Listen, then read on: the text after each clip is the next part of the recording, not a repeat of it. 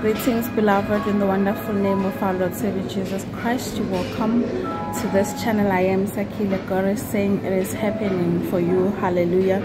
They will realize now that things are happening. People thought it's a joke. People didn't believe it. They thought it's a lie. They thought what usually happens, it will happen. God is saying you have been disappointed so many times. You have miscalled so many times and now people are thinking the same thing is going to happen this time around. God is saying they are actually going to see the greatness of god through your life. They're going to see how great god is. They're going to see what god has actually have for you in store.